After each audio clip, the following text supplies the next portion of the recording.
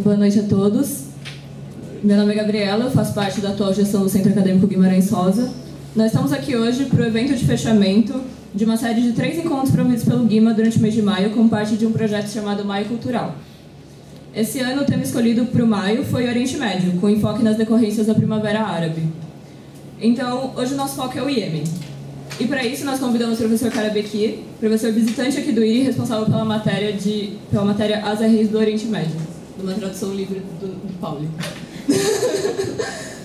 é, agora eu vou deixar o professor se apresentar da forma como ele preferir. Um, I'll speak English. Is that okay for everyone? Yeah. Great. Okay. Um, thank you, Gabriela, and thank you, Paulo, for inviting me to uh, give this lecture. It's a pleasure to meet more of you guys and to talk about um, um, a far away for you corner of the world, um, closer to my um, you know, neck of the woods, and to sort of realize that not everything is so uh, foreign and alien. Actually, there are a lot of commonalities uh, between the Middle East, Latin America. A lot of the themes are quite common.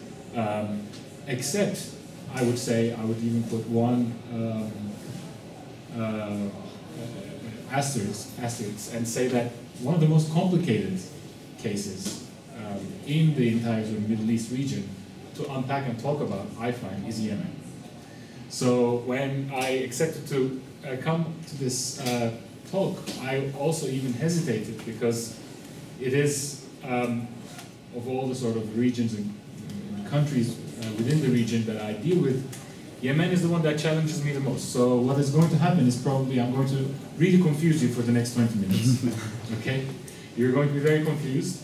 Um, and hopefully after that, we will actually turn that confusion into knowledge with questions and answers. So um, let me begin you know, with that disclaimer, okay? And if you at any point have a question, a clarification question, not, uh, that you would like to sort of have an answer for right away, do not hesitate to raise your hand. But if you could save the more sort of discussion related questions to the end, I'd appreciate it, okay? And I'm going to stand up so that I can warm up a little bit in this in this cold room.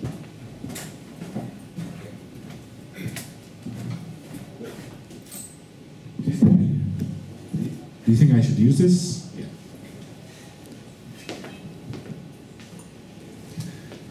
Okay. Um, what do we know about Yemen? What do you know about Yemen? What have you heard about it? What is, what comes through your mind when you hear Yemen?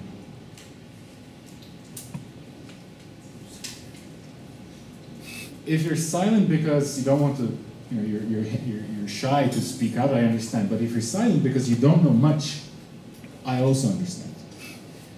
To be honest, if I asked you the same question about Syria or Iraq, you would probably have a few more things to say more, more easily. Because those countries have been on the news um, frequently all over the world for a long time. Yemen hasn't.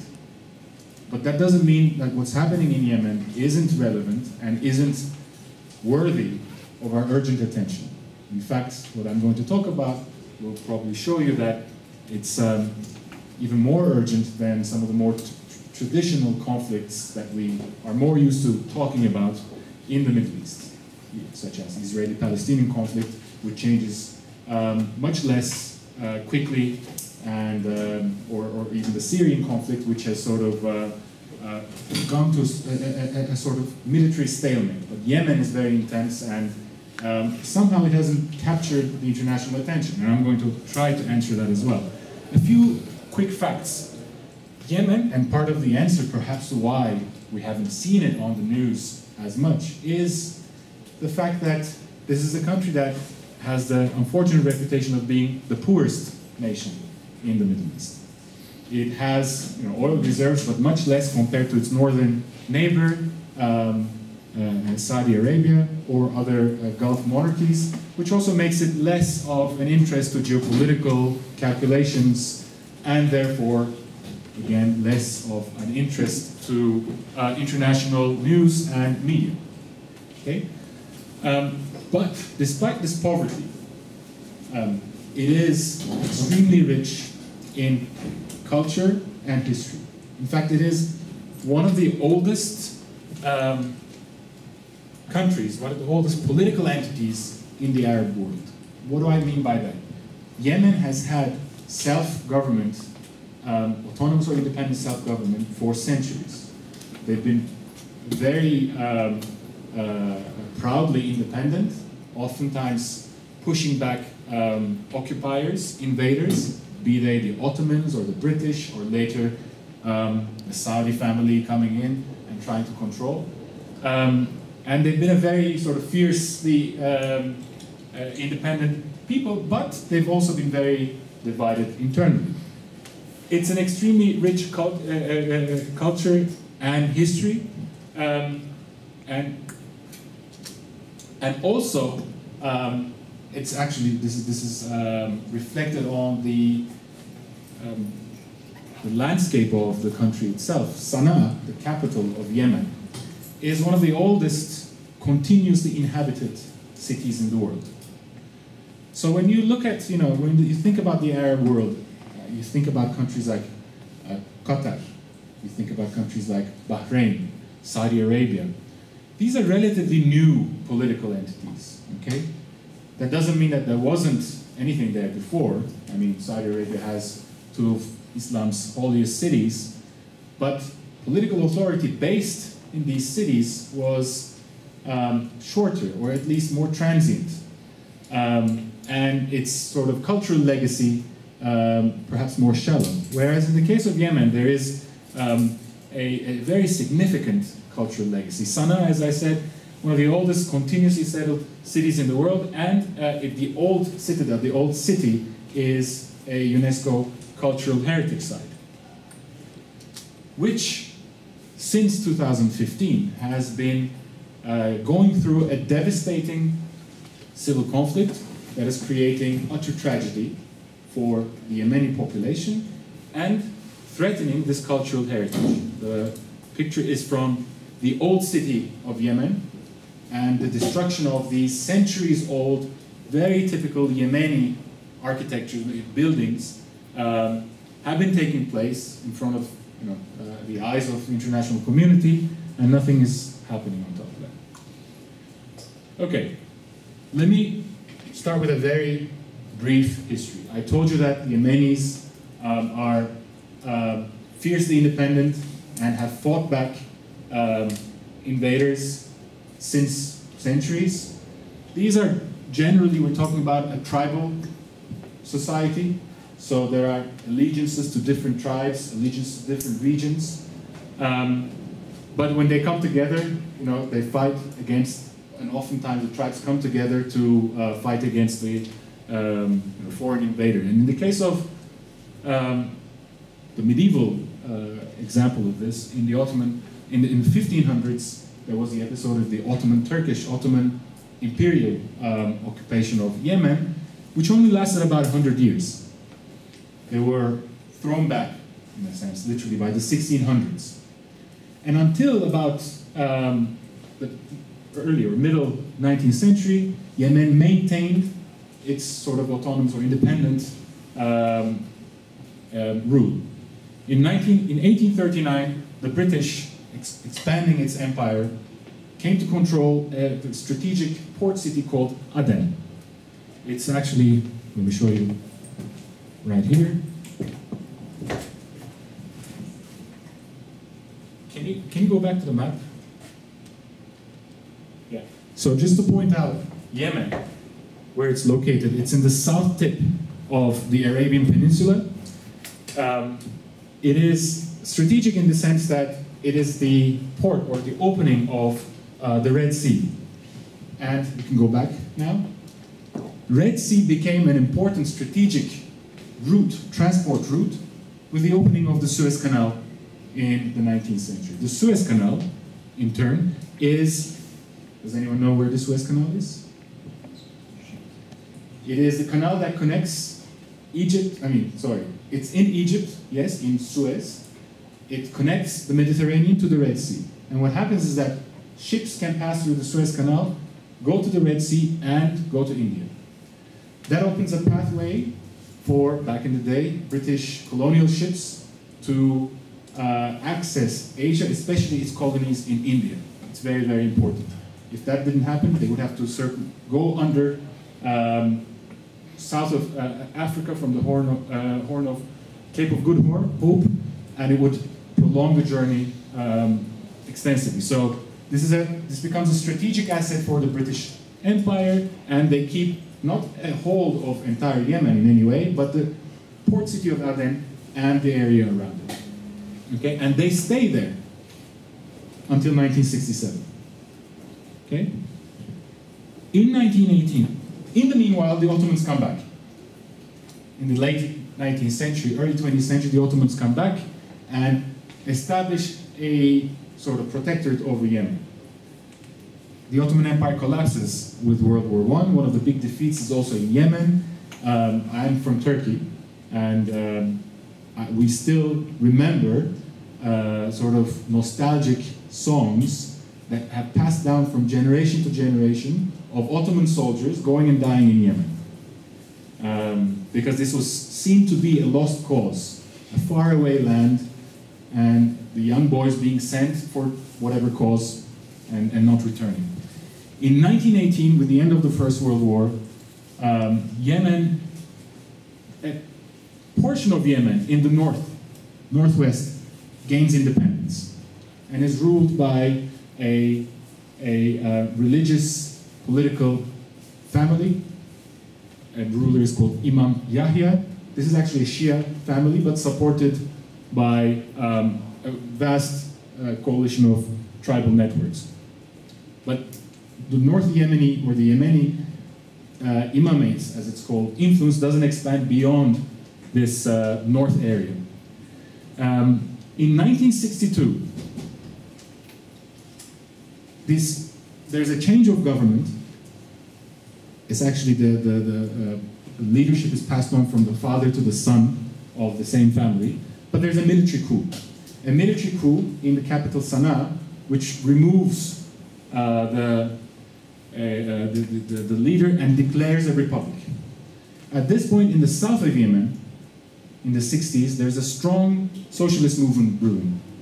Socialist Republican movement, which is backed by Egypt. Egypt at the time, in 1950s and 1960s, is under a charismatic um, Arab socialist leader called Gamal Abdel Nasser. Nasser wants Arabian unity under a secular republican uh, ideology, which we call Arab socialism. Egypt sends forces to Yemen. Saudi Arabia, at the time now becoming sort of like a big player in the region, sends forces to defend the imamate, the sort of religious political authority in North Yemen, and the first Yemeni civil war starts from 1962 to 1970. Okay?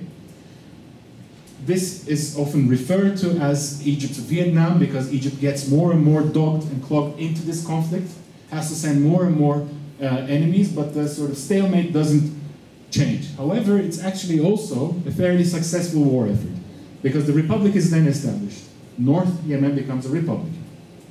Okay? In 1970, a ceasefire is, is reached between the two Yemens.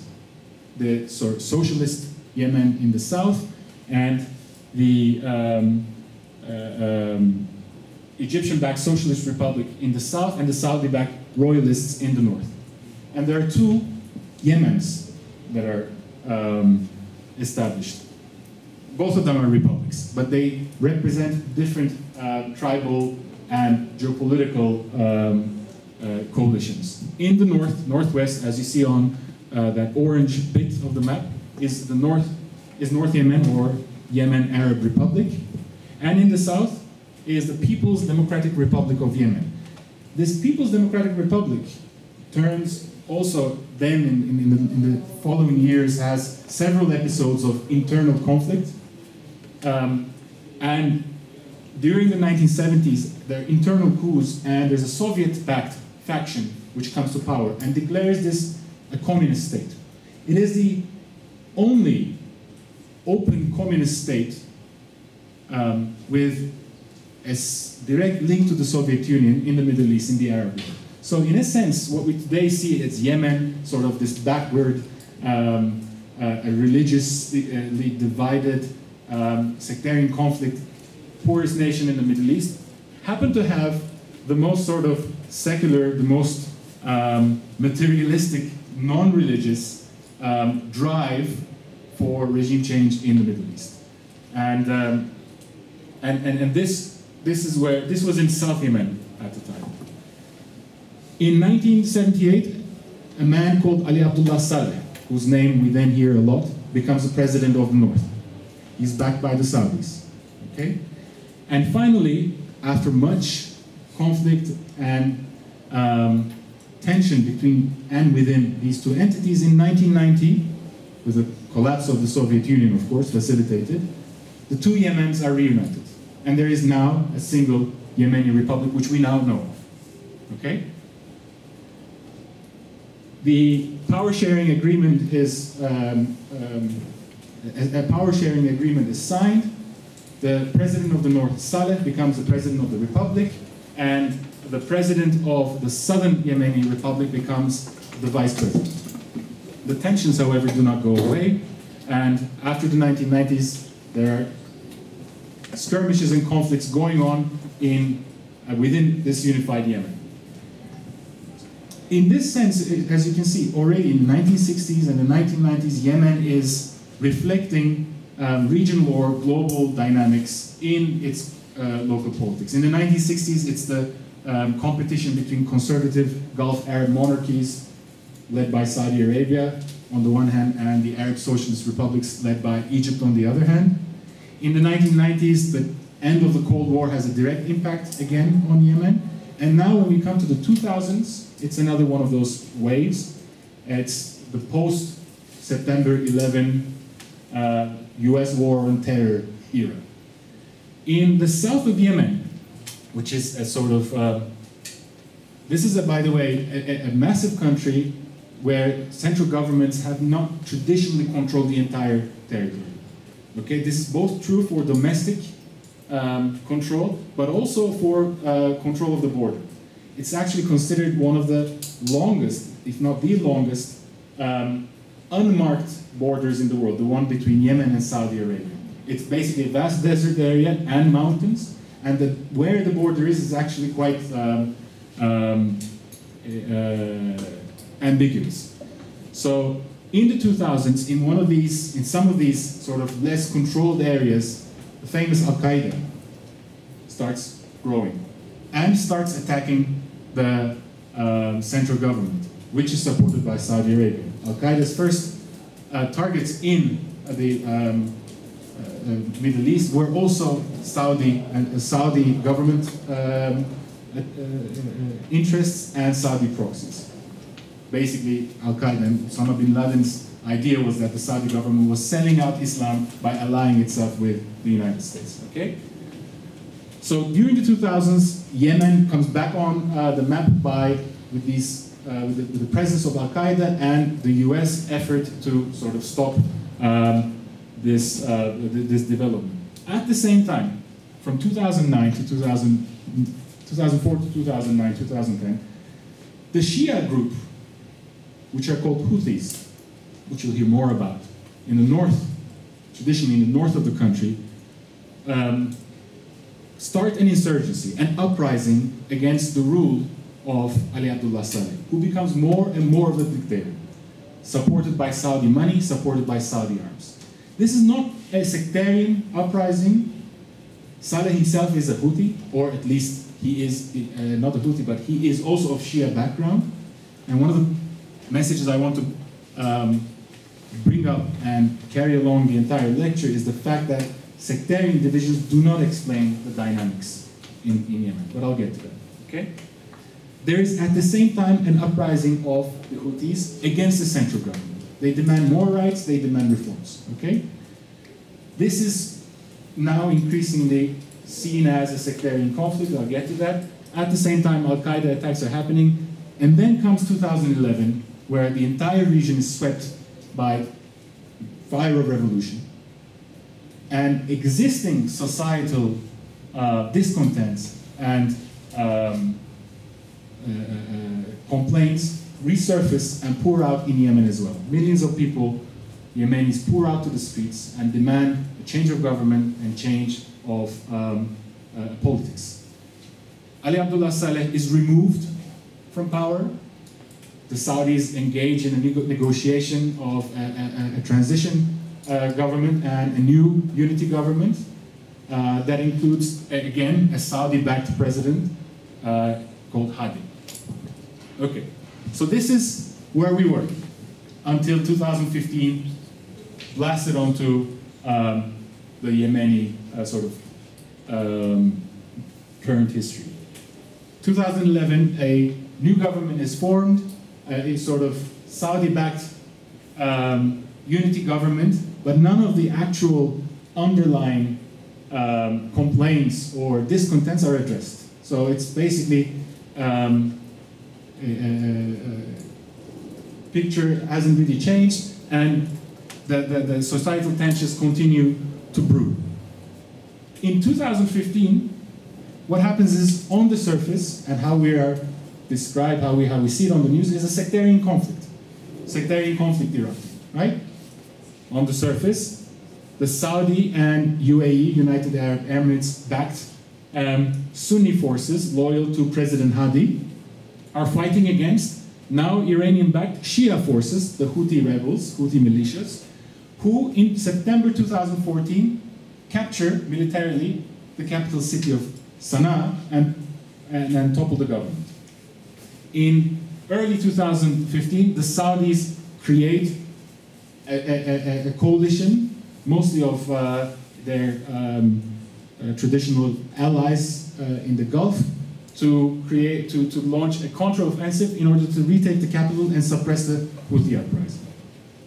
Okay, so who are the Houthis? I'll get to that in a sense in, in a minute. But these are actually um, it's a, it's a nationalist sort of uh, they call it independence movement or in, nationalist um, uh, uh, um, political movement based on the Shia Zaydi um, portion of the Yemeni society. Okay, so this is one of the reasons why this is uh, the conflict post 2015 is framed as a sectarian conflict. Their concentration of population. I think I've already gone over my time limit, but I'll go over a little bit more. They happen to be in the northwest of uh, uh, of the country. Remember North Yemen, the Yemeni Republic in, in the north this is basically their, um, that was, it was the Houthis or the, the, the um, Zaydis as they're called, who constituted the, the, population of North Yemen, who back then was backed by Saudi Arabia. And the south um, stretch of the country is more predominantly Sunni. So the idea is that this is a sectarian war. The um, uh, Shias have risen up and take, uh, uh toppled uh, uh, the Saudi-backed government, and they're backed by Iran. And this is the beginning of the conflict in 2015.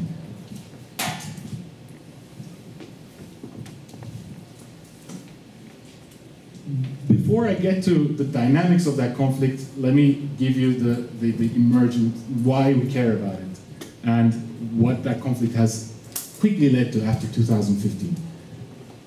Today we often, I mean, experts often refer to it, experts and, and, and, sort of independent observers of Yemen often refer to it as the world's largest humanitarian catastrophe. World's largest humanitarian catastrophe that is not caused by any environmental or natural cause. It's a purely political and, and geopolitical crisis, conflict and atrocity, okay? Um, which involves indiscriminate bombing of civilian targets by Saudi and UAE um, military uh, forces, including hospitals, schools, weddings, funerals, and agricultural land. It has a, a, a new estimate in, at the end of 2018 uh, suggested that between 2015 and until then, in the three years that passed, up to 60,000 people had died. 60,000 people had died in this conflict, millions of people have been displaced. This number doesn't include, very importantly, the number of people including children, who are thought to have perished because of malnutrition and starvation. Up to 85,000 children have perished because of starvation. And some 14 million people are considered on the brink of uh, uh, hunger, famine. Therefore, this is considered the world's largest humanitarian catastrophe. It's not just the bombing that is causing this, but also the blockade that the Saudis are imposing on uh, strategic ports uh, where humanitarian aid would be delivered. Okay? UN reports have accused Saudi Arabia of possible war crimes. I would delete the possible from there. Um, the, the, the, war effort is actually costing billions and billions of dollars to both the Saudis and the Emiratis. So it's actually questionable whether it's not only um, you know, sustainable from a, a, um, a, strategic point of view and humanitarian point of view, but also from a financial point of view uh, for the Saudis and the Emiratis, who also, despite having a lot of um, oil money and gas money, are going through, have been going through economic difficulties of their own. Okay? And the, what makes this a global tragedy or a global atrocity is the fact that the Saudi war effort is being supported militarily by the United States. The US has been supplying the, the, the arms, the, the, the, fighter jets, and helping fuel uh, Saudi and UAE fighter jets in the air in between their bombing sessions. So the US government is also potentially implicated, I would delete potentially, in the uh, criminal uh, sort of campaign that is being waged on uh, the Yemeni population. That's cool. Why is all of this happening? I'll get to that. But just to give you a sense of uh, the territorial controls and the complexity of the situation, um, again, you'll see this, the, the, the, the familiar uh, division of Northwest and the rest of the country. Northwest is where the capital Sana'a is uh, located, and um, the uh, Red Sea coast going down to the south but not reaching at the Gulf of Aden is controlled by the Houthis. Their actual uh, uh, base of four, the, the, their, their, strength uh, base is actually in the north of the country on the border with Saudi Arabia. That city in the north is called Sada, is where you know, it's, it's, it's considered the cultural and, and, and uh, historical heartland of the, the, the, the Shias. The green parts are controlled by um, the Hadi government, the Sunni Saudi-backed Hadi government. There are also pockets that um, where neither of the forces uh, are in control. Um, the Al-Qaeda derivative, it's called Al-Qaeda in Arabian Peninsula, AQAP, has pockets where it's in control, and even ISIS, after 2016, started having its own little uh, zones of control, no longer does, but so this is the picture as we have it, Okay? Now, there are three dimensions to this conflict. There's the local dimension, there's the regional dimension, and there's the international dimension. What you will hear, the, the, the sort of narratives that you will hear, will be based on the regional and the international dimensions. The local dimension gets the least amount of scrutiny, the least amount of um, sort of exposure, I would say, in the international uh, uh, uh, press. Part of the reason is that the locals have less of a voice, less of a power to make their case, and because also it's a complicated case, um, international audiences go for easier snippets of explanation. What could be, what could be happening? So there are two ways of thinking about the local conflict. Okay? You could think about it as an essentially sectarian crisis that the, you know, the, the Shias on one side and the Sunnis on the other side, these two irreconcilable um, branches of Islam, are at it again. They've been fighting for millennia, and yet another fight, fight, uh, fight is happening, so that explains it. That is the um, explanation, if not so overtly, you would hear in a lot of, at least the undertones of the explanations you would hear in a lot of analyses of the Yemeni. But there is actually a, a prevailing factor here that is often disregarded. It is the fact that the, at the bottom of the protests, at the bottom of the discontent and political unrest lies very basic, very universal demands for political reform, for end of corruption, for basic rights to different groups within Yemen, which in a sense, which were uh, reflected in the massive protests in 2011. Some of the biggest demonstrations I've seen, at least in pictures, took place in Yemen, and they got, if you, if you type Yemen Arab Spring protest, you'll be amazed by the size of the crowds, but I, I mean, I would doubt that you've, you've actually come across these pictures in the international press, okay? Um, and these were, to begin with, some of the core concerns of um, the majority of the population from you know, after at least 1990, the unification of uh, the two Yemens. But this is often put aside, and we focus on the sectarian conflict. As I said, the sectarian exp explanation is a neat explanation. It says, okay, there are the Shias, the Zaydis, and there are the Sunnis, the, the Shafis. These are denominations within these sects.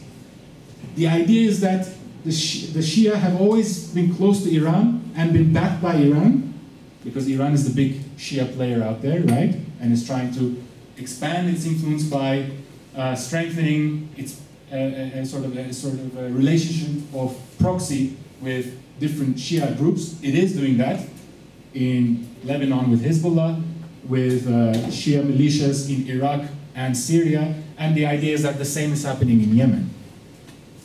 This is actually not true.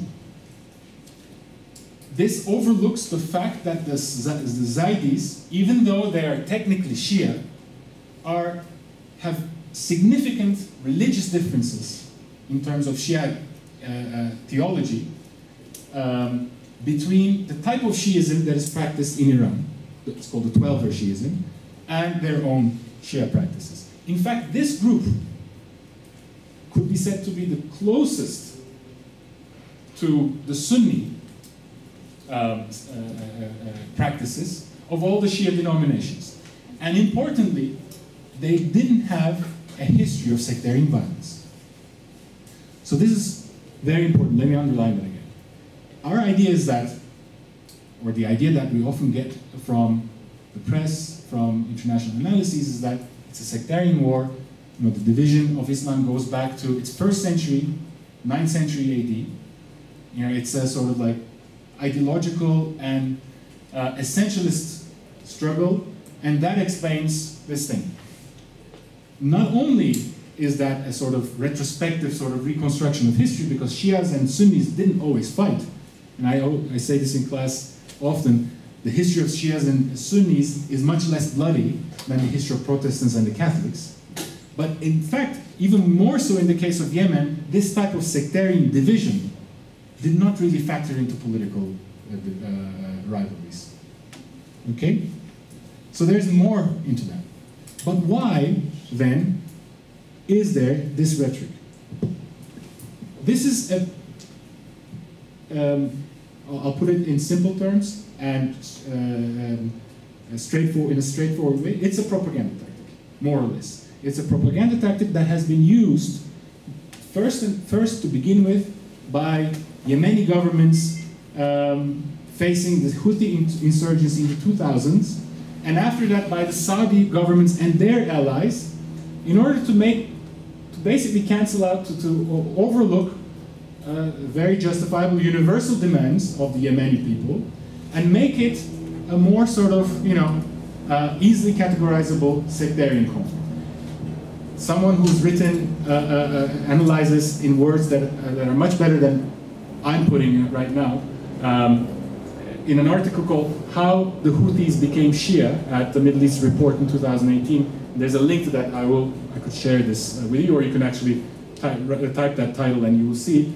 Has, has, has put in the following words. The, this framing, this framing of the conflict as a sectarian conflict, helps Saudis and other Sunni identified regimes to channel popular discontent into resentment of Shia Iran. It finds eager supporters in the United States and other Western governments that have also been hostile to the Islamic Republic. and it can go over well with global media audiences who have been conditioned in the aftermath of the 2003 Iraq War to see nearly every Middle Eastern uh, counter-attempts as a manifestation of intractable, centuries-old struggle between the two main branches of Islam.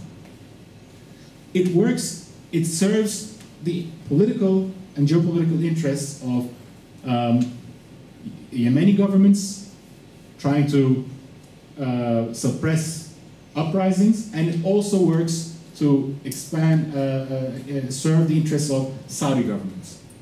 And there is the regional dimension that comes into play. Saudi Arabia is the big brother of the Arabian Peninsula. Okay? It has several foreign policy goals, which few weeks ago I was talking in class, that involves a sort of, that is a pragmatic sort of, uh, uh, that, that becomes more intense at the very core and sort of gradually becomes more and more pragmatic on the outside. At home, the Saudis want to establish and maintain a strict domination of the homeland within its borders. Within the peninsula, the Saudis are interested in maintaining a hegemony. In other words, they don't want to conquer these other uh, countries, other monarchies, but they want to make sure that the leadership in these um, uh, uh, uh countries, um, kingdoms, monarchies, etc., or republics, are following the lines of the Saudi regime. Regionally, they're interested in ma making sure that no single um, rival comes up and becomes too short in the middle, too, too powerful in the Middle East. In the 1960s, this was Egypt. After 1979 Islamic Revolution, it became Iran. So the whole idea is to create a balance of powers to make sure that these uh, regional um, upstarts don't uh, uh shake the Saudi balance, Saudi hegemony in the peninsula. And globally, it has the interest of maintaining a very strategic relationship it has established with the United States in the 1940s, and that is a strategic sort of bargain for oil for military support relationship. United States and Saudi Arabia have enjoyed a very sort of close relationship throughout the Cold War and afterwards, and, and, and more than anyone, Saudis want to maintain this. So it works, first of all, the Yemen crisis, having a political instability and perhaps a popular movement in Yemen um, jeopardizes, threatens Saudi's not only peninsular but also domestic interests. They may lose control of a proxy or, or a, a, a neighbor, um, so it's no longer within the zone of Saudi hegemony, but not only that, if the Arab Spring type of revolution succeed in the peninsula, it also cr creates a, a, a major uh, regime crisis, regime threat for the Saudi monarchy, which is an absolutist monarchy. So what they did, for instance, in Bahrain was to, again, portray this as a purely sectarian crisis and suppress it militarily, and similar thing in Yemen. Okay? So the idea is to sell it as a regional crisis. Let's ask at the moment the question, what about Iranian involvement? We haven't spoken about that. Have they not been involved at all? This is not the case. However, there is little evidence that Iran has been involved in the Yemeni uh, crisis from the beginning. There's little evidence that they ever supplied weapons. They do that in Lebanon, they do that in Syria and Iraq. In, in, in Yemen, there's very little evidence of this thing. There is little evidence of a Houthi or you know, Shia um, uh, demand to be under the umbrella of Iranian sort of power. However, as the sectarian regional competition or the regional rivalry between Saudi Arabia, United Arab Emirates on one side and Iran is heating up, Iran is also starting to step up its presence in Yemen. So this rhetoric is becoming something of a self-fulfilling prophecy. Okay? So at the moment, there's probably more Iranian influence in Yemen than there ever was, including in the beginning of the conflict. Okay? Ah, sorry, let's go back one thing. So, as I said, while the Yemeni crisis threatens Saudi interests, it also presents an opportunity for a new ambitious crown prince who became actually defense minister in 2015 and became the architect of the Yemen war, uh, Mohammed bin Salman, whom you might be hearing in the news, um, who has thrown away the caution and pragmatism of uh, previous Saudi rulers, who would probably not get into a quagmire, a, a humanitarian sort of uh, bloodbath, as, as is happening right now. He wanted to prove to the world that Saudi Arabia is no longer a passive player and will actually become, uh, will aggressively uh, uh, uh, control the dynamics on the ground with military power. The same thing is happening in the United Arab Emirates. So there's a um, leadership factor involved here as well. A new generation of ambitious um, uh, sort of dreamers of, uh, who, who, see themselves in the giant's mirror and trying to uh, control the dynamics. So this is also part of it. And why is the international community, if there is ever one, let's say the United States and the West, has been turning a, not only turning a blind eye to this, but actually supporting this uh, bloodbath for such a long time? Well, first of all, the propaganda works.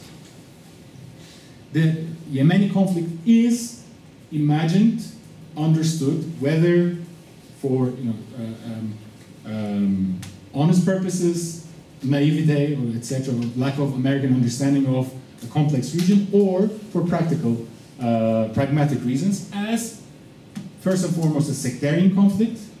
The United States also shares, especially the Republican wing, this fear of Iranian expansionism, and that falls neatly into that. There's also the idea of not allowing Al Qaeda uh, take root or ISIS take root in Yemen. Of course, um, ironically, the ideology that has given rise to Al Qaeda and ISIS is Wahhabism, that is the official ideology of uh, Saudi Arabia. So there, you know, the, the, the ironies are abounding. We could say that for a long time, because of these reasons, the, the damage and the casualties in the Yemen war were underreported. Up until 2018, people would talk about, you would have newspaper articles talking about massive damage in Yemen, 5,000 people, 10,000 people dead. At the same time in Syria, we were talking about hundreds of thousands of people affected or, uh, or, or, killed, so it looked like a side conflict. All of a sudden, in 2018, um, mainstream media started understanding that this wasn't actually the case, and they overnight almost um, started reporting estimates five times, six times the original numbers. And all of a sudden, this started attracting attention. Um, but then, beyond the media and popular attention, there, there are the core uh, dynamics of uh, uh, um, US relationship with Gulf monarchies. As I mentioned, this long extending tie between the United States and the Saudis based on oil for um, military support, which has been changing in the last decades as the United States has, be has been becoming less and less dependent on foreign oil exports, but nonetheless, it's still there, and the Saudis and the UAE, the, uh, the Emiratis have been um, uh, increasing their lobbying um, uh, efforts to maintain this um, this, this, relationship. And one of the ways that they're doing this with is a always putting the Iran, Iran factor as the number one thing on the agenda, and number two, or maybe number one, uh, uh, maybe the number one thing here, becoming a very sort of generous consumer of, uh, of American arms. And while um, the US involvement with Saudi war effort in Yemen has been drawing more and more popular sort of uh, heat and criticism with the election of Donald Trump, the possibility of a change in policy has sort of gone out the window. One of the first things that Donald Trump did was to um, uh, sign a massive arms sales agreement with Saudi Arabia at the figure of 12 billion US dollars. And Trump says these are our main customers and friends, and we will overlook anything that they do which may not be looking very good. He doesn't care to begin with anyway.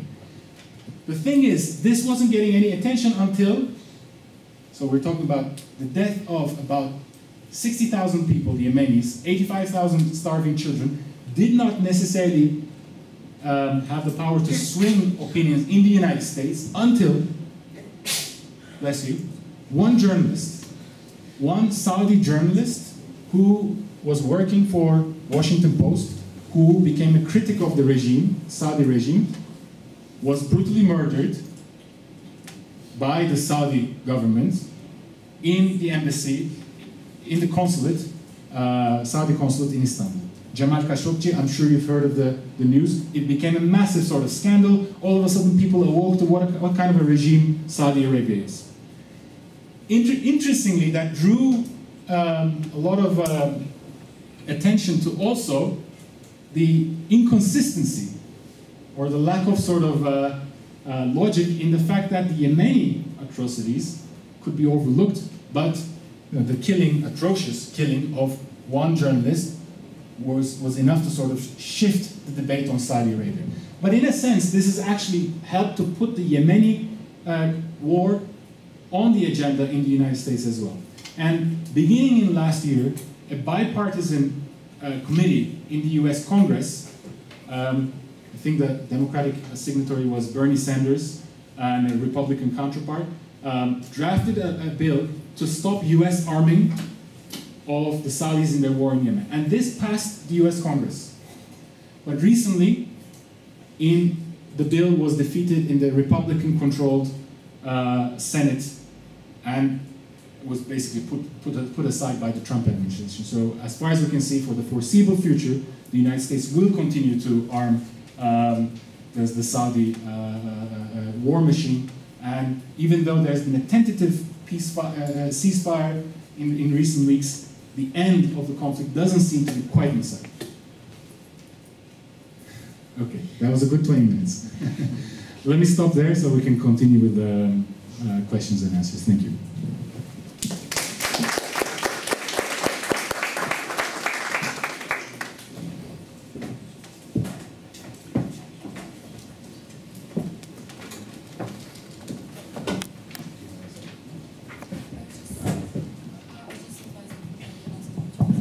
You can ask in Portuguese as well, um, and I'll, I'll, I'll, pretend I understand, and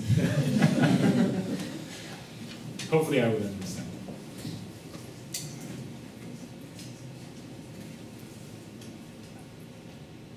Eu tenho uma dúvida. Isso, essa guerra civil tem a ver com a vontade popular de um governo secular? Is it, is it a, sorry, is it a, is it a conflict between secular government and Pode, fazer uma pergunta em, português, só que eu não, não entendi. É, será uma demanda para ter um governo secular em vez de ser uma república islâmica? Okay, um, we're talking about the, the possibility for the future, right? Calma, não. If... Ele perguntou se a vontade de ter um governo secular foi uma das causas da guerra. Okay. Um, I don't think so. So if you're talking about um, if, if you're talking about the, the two Yemens, the Yemeni uh, sort of South Yemen and North Yemen, there is evidence to suggest that in South the imposition of not only secular but atheist um, um, socialist uh, ideology had more of a, basically backfired in the sense that there was, it did create a backlash that put more sort of fuel to religious emphasis, religiously sort of driven militias. But in the, in the, since 1990, even though it's a republic, uh, the fact that, I mean, religious uh, allegiances have been out in the open, they're not suppressed. So I wouldn't say that the fact that there was a secular government has led to the rise of an Islamic sort of uh, reaction. It's more of a question of ungovernability. Um, we're talking again of um, a very poor nation with uh, the, the, central government having limited control over its entire territory. And these are uh, sort of, um, with, with the populations in these places, uh, um, um, justifiable grievances against uh, the local government, against the powers that be, which creates, of course, a fertile ground for uh, uh, radical uh, groups to emerge, whether they are you know, secular or religious. And it's interesting, of course, that there is actually a, a, some sort of an overlap between the secular sort of, um, you could say, radical secular communist groups that emerged in south of Sudan, in the uh, south of Yemen in um, the 1960s, and the Al Qaeda linked groups that emerged again in the same areas in uh, the 2000s and 2010s. These sort of um, groups become a vehicle in many ways in many regions for expression of, of discontent, especially in rural parts of, um, of, of, countries. So it was South Yemen that was um, the sort of uh, epicenter of the Arab world's most sort of um, uh, communistic uh, government, and it also became uh, in the 2000s the, the, the place of uh, where in the uh, Arabian Peninsula Al Qaeda and linked groups started flourishing.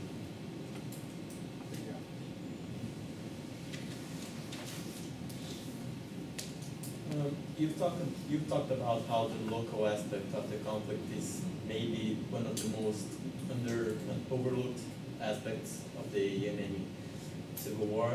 But how has the the other the regional and the international aspect of the war affected the local the local aspect of the, the civil war in recent years in the sense that it is not like the Houthis and the, the I mean the, both groups are now thinking about the conflict in the same way that the Western media and the international media as a whole um, approach the conflict in the sense that it's not about the local reforms and the discontent with the dictatorship that has been happening since the, the late government. Has it become, by, on the local, I don't know if you can answer it, but has it become in the local views a conflict that is portrayed by the media here in the West? I don't, I, you're right, I don't know if I can answer that. I don't know if I have access to answer that. Uh, but what we see is that the, the, the, dynamics of the conflict have evolved to reflect um, the regional sort of um, dynamics. So certainly with the fact that you know, stronger, uh, more powerful uh, regional actors are putting in uh, arms and uh, money into this conflict is redefining the terms of the conflict. It's sort of like what happened in Syria in a sense. I mean, look, it's the Syrian conflict, this, what did start as a popular uprising. You know, and they still, to this day, we don't hear about it anymore too much, but there are still millions of Syrians who believed in that uprising, in, the, in those protests, um, as a sort of civic, civic uprising demanding um, you know, positive change. And they, they, when you talk to them, they hate the fact that they're completely ignored in the, in, in, in the world at the moment. So in a sense, I would assume the same to be the same, especially because the Yemeni uh, protests during the Arab Spring were so powerful. And on top of that, the local, uh, the local uh, dimension is, uh, is very convoluted, very, very complex, to the extent that I couldn't really properly explain to you, and this was my earlier dis disclaimer, I'm not really an expert, okay? I'm just following it as I'm following the general region. Um, for instance, um, Ali Abdullah Saleh was the president from 1978 and in 1990 uh, united Yemen, and the Houthi uprising was against him in the 2000s.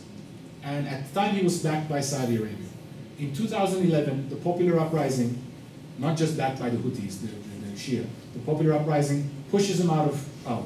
The Saudi Arabia, Saudis basically let him go. Um, and install another sort of puppet kind of guy, okay? What happens is that afterwards, Saleh becomes an ally of the Houthis. So it's Saleh's forces, forces loyal to Saleh that have been supporting, first and foremost, the Houthi uh, uh, armed um, struggle, armed offensive. More than, you know, there's much more evidence of that than any Iranian, you know, uh, military support. Um, but on both sides, there are significant um, uh, divisions as well. So, um, not long time ago, there were clashes between Saudi-backed uh, Hadi government's forces and UAE-backed forces in Yemen. At the same time, after the capture of uh, Sana'a, um, uh, Ali Abdullah Saleh and the Houthis fell apart, And Saleh was actually killed by Houthis, recently assassinated by the Houthis. This, to be honest, baffles uh, my understanding. If there's anyone who knows the dynamics better, I would be willing to, uh, uh, to, to, discuss further as well. So the, I mean, local dynamics are, are, are, still there, very strong, very powerful, but the local players are very much making use of uh, the regional uh, uh, uh dynamics as well, because you, you, need, arms and you need money, and um, whoever is supporting, uh, uh, uh, supporting.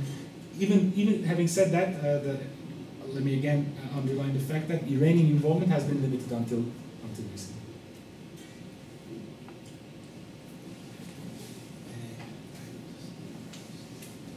And why hasn't the, the Security Council uh, addressed the Yemeni war yet? Is it because, like, um, is it the the U.S. that blocks the Security Council from ever analyzing, or is it another country that just they don't uh, view it as uh, interesting enough for the council to look at? Um, I don't. I'm not very. I'm not very sure how to answer that question. But I, I would say that it's both of these things. First of all, the U.S. existence in the security, um, because I'm not aware of the extent to which this was uh, discussed to get, get get to the Security Council. If I think in the back here, um, yes, I'm, I'm going to say something. It, it looks like you have Okay. Um, if, if, you, if you know more about this than me, please please uh, join in. But it's the A, U.S. involvement.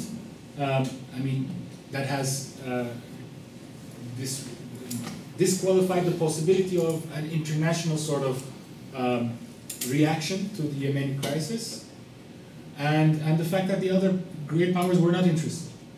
Great powers. Um, Russians didn't have a stake in Yemen the Chinese didn't necessarily have a stake, and this has been sort of under the radar of sorts. Um, also, I mean, the, the level of influence the Saudis have on the international scale um, to sort of influence, and the, and the Emiratis actually. Sometimes it's said the Emirati uh, uh, uh, crown prince, who's known by his initials as well, MBZ, MBZ, is more influential than the, the Saudi crown, crown prince. Anyway, the level of lobbying power these uh, governments have on this, the, the US, um, par portions of the US government, and also on um, the UK government have been quite significant. I mean, in 2013, I think it emerged um, a sort of backroom deal between the US, UK, and Saudi Arabia to put Saudi Arabia on the United Nations Human Rights Council in exchange for um, arms deals. And uh, so it's actually quite, um, and, and that also blocks, of course, international uh, efforts to put this issue more at the top of uh, the agenda.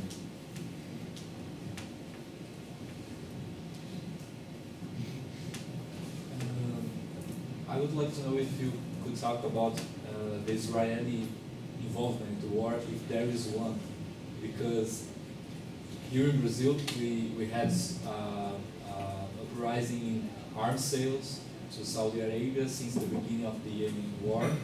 And now with the new government, we have a sort of anti-Arabic Islamic narrative and speech and a pro-Israeli speech. And how could this affect the regional or the, the global factors. How the Brazilian government's uh, position could change, affect the regional factors? Or? Yes, and the Israeli mostly, regional. Okay, so two, two, two different uh, questions, I guess. Um, I, I, can't say too much about Israeli specific involvement in Yemen, but I can say the nature of uh, Israeli-Saudi relationship and Israeli-UAE relationship.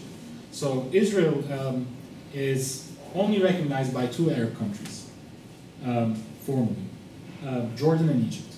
Okay, there are two treaties that um, in 1978 um, and 1994 that allow these two countries to officially recognize um, uh, Israel. but arguably the closest sort of strategic relations these days of the Israelis are with the Gulf monarchies, even though they're not recognized by these Gulf monarchies. Um, and it's basically the sort of uh, priorities of the governments in place in these, uh, uh, in these, in these countries. The right-wing Netanyahu government in Israel and uh, uh, these sort of assortment of crown princes in UAE uh, and Saudi Arabia, and um, centered around mainly the issue of Iranian threat. So Israeli-Saudi collaboration under the radar it has been growing. Okay, it's under the radar mostly for the Saudis because it's still not fully okay to do business with the Israelis because there's still the Palestinian cause. Um, it's still not a popular, you know, Israel is still the most hated uh, country for, for Muslims, for um, not only for the Palestinian cause, but also for anti-Semitic reasons. Um, but for Israel, of course, it's more of a, they, they make less of a secret of this engagement to show that, you know, um, they have wider sort of uh, contacts in the region. So, and that involves strategic um, uh, cooperation, military cooperation, not open military cooperation, but you know, exchange of intelligence, etc., and putting similar sort of lobbying efforts on United States governments vis-a-vis Iran. And if we consider that within, you know, if you put Yemen in that sort of picture, that would have an impact on Yemen as well, even though I couldn't really say to you how the Israeli government has been dealing with the yemeni um, I think the Brazilian case will have, effect, have more effect on Brazil than on the regional dynamics. Um, and I'm not sure how sustainable it is, mainly for economic trade reasons. And I think there's already significant pushback from certain interest groups in Brazil, especially the, uh, the, the, meat packing uh, industry, the agribusiness industry, whose number one uh, clients, cons uh, cons consumers, importers, are Arab countries of halal meat, of uh, this idea that you know uh, uh, Brazilian government should throw away its relationship with these countries and um, you know, follow Trump's lead on moving the embassy, uh, Brazilian embassy from uh, Tel Aviv to Jerusalem, etc. And we already see that this is not happening. I mean, Bolsonaro has backed away from uh, a number of these claims. So um, I'm not sure to the extent of um, impact uh, on, on, the region as long as uh, uh, Bolsonaro doesn't fulfill these um, campaign promises. If he does fulfill these campaign promises, of course it's, it's significant because Brazil has been under the uh, Labour governments a sort of uh, a, a, supporter of uh, um, a number of Arab causes, a number of Arab regimes, etc.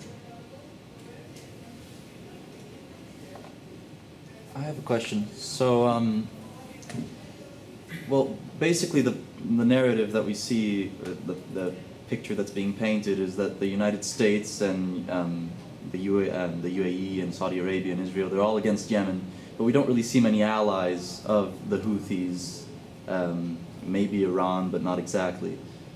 And that's kind of like, it's kind of scary, isn't it? I mean, we don't really see an end to this conflict where, you know, money's being made, weapons are being sold, um, do you see any prospects in the future of you know a change in these dynamics or something that could you know eventually you know bring an end to the war? Um, I think I mean so the the clear picture is that the, the, the Saudi sort of juggernaut, the Saudi offensive to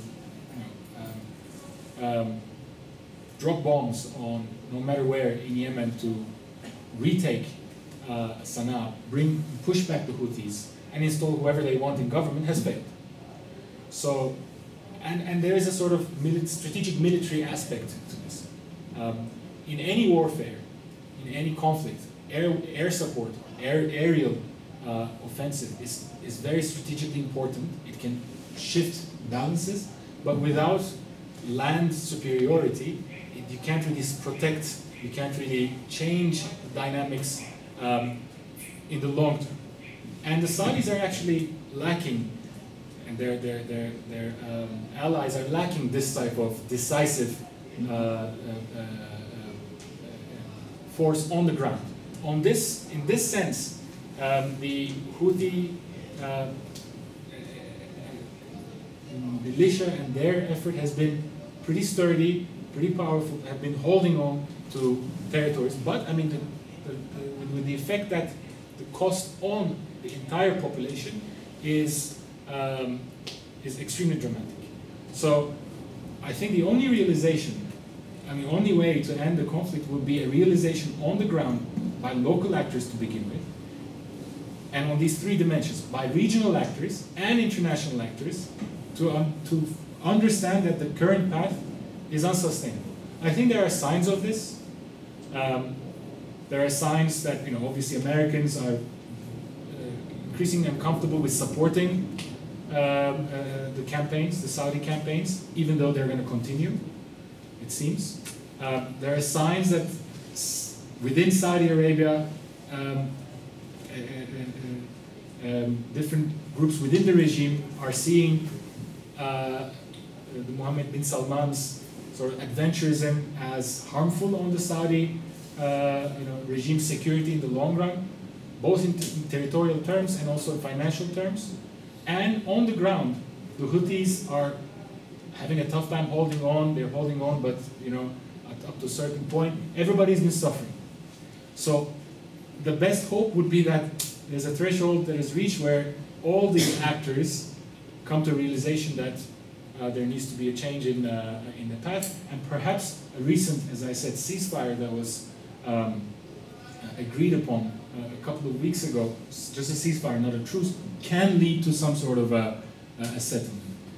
It probably can lead, there probably can have settlements in the sort of, when we look at the recent history of Yemen, we see you know, periods of conflicts being sort of stopped by some sort of a unity, government agreement, power sharing, that doesn't necessarily last for very long. So that is a possible way forward as well, we'll see.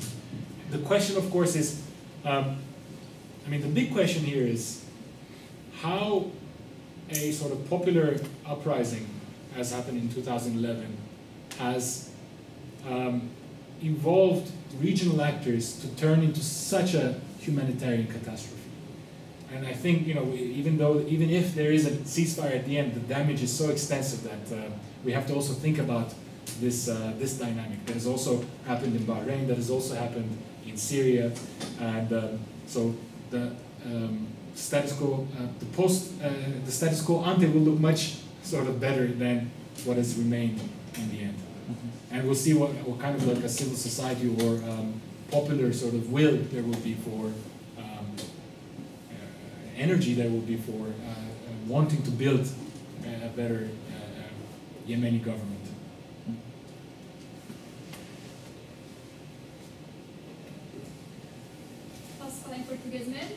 Mesmo?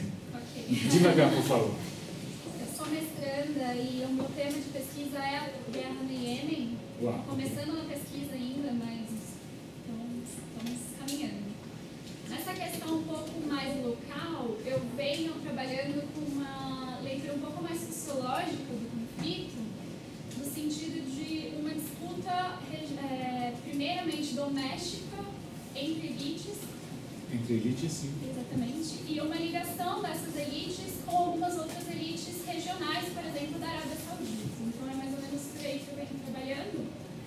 É, e e nesse aspecto, eu acho que isso mostra algumas coisas que às vezes a gente, em relações internacionais, a gente costuma passar despercebido, porque a gente pensa muito em um Estado fechado, então na Arábia Saudita ou no governo do Iêmen, e a gente acaba perdendo a perspectiva de alguns atores ali envolvidos no dia a dia, no cotidiano do, do conflito. Então, é, pela pequena pesquisa que eu comecei a fazer, o Salé, por exemplo, conseguiu governar ao longo de 33 anos, uh, baseado numa rede clientelista muito forte. Né? Então, da maneira que eu vejo, assim, ele começou a perder apoios importantes.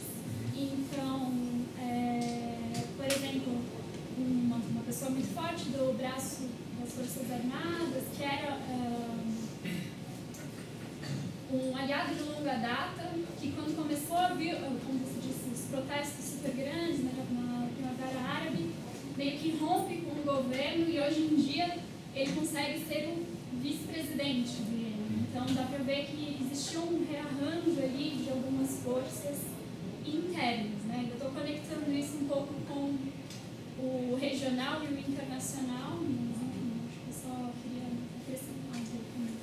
Thank you, and I think it's very, it's a very important point. Um, of course, um, these elite disputes and coalitions are not just, you know, in an isolated chamber.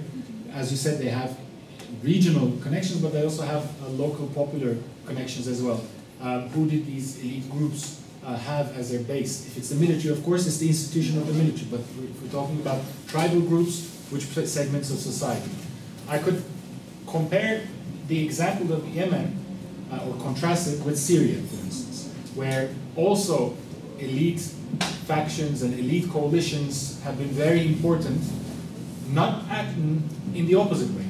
Um, unlike Ali Abdullah Saleh, who lost very critical control or, or support during the protests, the reason why uh, uh, Bashar al-Assad managed to stay in power was because he managed to enjoy, sustain the support and loyalty of key socioeconomic and institutional allies that allowed him to uh, rule for decades as well. We're talking about um, the military, of course, and that shows the success of the uh, Al-Assad clan and in putting sort of strategic clan members, the Alawite members, into uh, strategic positions, uh, but also creating sort of a good patronage network uh, beyond just identity. At the same time, on a social level, we should also for, not forget that unlike in the case of Yemen, um, the sort of state-backed bourgeoisie of the Syrian population based in Damascus never really rose up against, against Assad. They never really went to the street like the, um, the, the, more urban, urbanite uh, Yemenis went to the street against As uh, uh, Ali Abdullah Saleh. They never went against Assad. So in that sense, Assad was successful. I mean, if you can consider the, the horrible sort of mess as a success, nonetheless, he's, he survived because he was able to maintain these um, social political alliances, which, um, whether Gaddafi in Libya or um, uh, who had actually, you know, basically completely personalized his, his rule, or the very sort of complex network in Yemen didn't uh, uh, manage to, uh, to see. So yeah, the elite sort of coalitions is probably uh, the, one of the key aspects to explain all the, all, all, all the changes in uh, you know, up, ups and downs of the conflict as well. Do you see in any way the Yemeni addiction on the khat drug activating the existing humanitarian crisis? Or is that a problem for the future for the Yemenis to solve? I don't know. I mean, that's a, that's, I'm sure, I'm sure there's, I mean, first of all, let's explain what Khat Yeah, is. Uh, just can you? About it, about it today. You heard about it I today? about it, I just read it um, a little bit before the election here. Look, I mean, I have rudimentary knowledge of, of, of- of the situation, but I know that it's a, it's a massive um, social uh, phenomenon, issue. Khat is a, is a plant-based drug, let's say, kind of like a, in between uh, cannabis and tobacco that is chewed and has a sort of a sedative effect. It is produced on a massive level in Yemen, and Yemenis are notorious for chewing this um, uh, product and consuming it in vast numbers. So, you know, one of the sort of stereotypes, not even a stereotype actually, a sort of cliches about Yemeni cities is that the floor is full of green stuff, green sort of like um, uh, tobacco-like product, which is khat that uh, majority of the population, adult male population at least, chews and then spits on the floor, on the ground.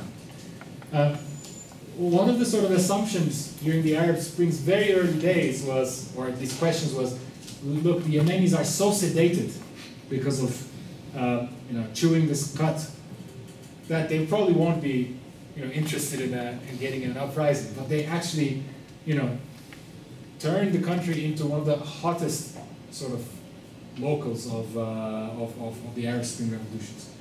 Um, I don't really know the social, the, the economic aspect of it, the production and uh, who controls it and what that would mean in terms of political uh, uh, power. Um, if you do, do please. Uh, uh, uh, but I'll be interested to find out as well. This is something that is an interesting, for sure, an interesting aspect, social cultural aspect of Yemen. Um, the way I see it, there's a country that is facing demands for reform, um, more respect for human rights, and all of that that we talked about, and it has the perfect, um, not alibis, but perfect excuse in order to, uh, with the Houthis revolution um, and rebellion, in order to bring this to the attention of the international community, bring the international community in through the Security Council, uh, and then silence both the Houthis and the social unrest concerning corruption and everything. How come the Yemen um, government did not decide to go through the Security Council in order to stop the humanitarian crisis uh, that was provoked by the Houthis and decided to align with Aboriginal power in itself? Which which Yemeni government? The Yemeni government is, is are if we're talking about the, the Saudi-led government, it's no longer uh, in charge. It's been pushed out of Sana'a, the capital. So the government, if we're talking about that government, it's, it's sort of uh, in exile of sorts, in dom domestic exile, and they don't have a humanitarian case to make. They're being backed by the Saudis. The Houthis are trying to make this case, but they have uh, uh, uh their sort of outlets to international um, uh, uh, media or international legal forums is much much more limited because they're also seen as allied with Iran. So the entire narrative um, is very much very difficult for them to surmount um, and to, to sort of like make a case for themselves. They're not recognized as a government by a lot of the countries, so they don't really have a seat to make this case on behalf of the Yemeni population. It's a matter of uh, lack of voice and lack of uh, international representation But it meant at the start of the conflict, instead of aligning with uh, the Saudi government? They were aligned with the Saudi government from the back, from the beginning. The, the, the, the, the President Hadi was planted by the Saudis. After, in a sense, after the, uh, the, the Arab Spring revolutions, the Arab Spring uprising, um, Ali Abdullah Saleh, the support for Saleh was cut off by the Saudis. He was let go as a sort of like a concession to the protesters. And the new government involved also the blessing of the Saudis, but that didn't change anything. So the new government was sort of, you know, a creation of sorts of Saudi machination, of Saudi engineering. It would have been, it would have been interesting had they sort of uh, went against their um, financiers, but we don't really see that too much. Okay? We all know much more about Yemen now. I do too. so, shall we call it a day or shall we? What do you think? Are there more questions? Uh, I have just one. Do you have Studying Portuguese books? No, studying Yemen. Oh, studying Yemen. What? Podcasts. Podcasts. Um, off the top of my head, no, but I can. Uh, I'd be happy to uh, go back to my podcasts and readings and sort of uh, select a few for you and uh, share with you. So, you have any? Books, books, text. I have some, sure. Okay, um, can I email? Yes, you have my email. I'd be happy to anyone who's interested in some some, some reading that I've I've been doing um, recently not just for this presentation, for, for some time, I'd be happy to share them. Okay? Thank you very much again for, uh, for your interest. Um, and thank you for, so much for coming to speak. It's really very interesting. I think I can speak for everyone. Uh, hopefully. No, seriously.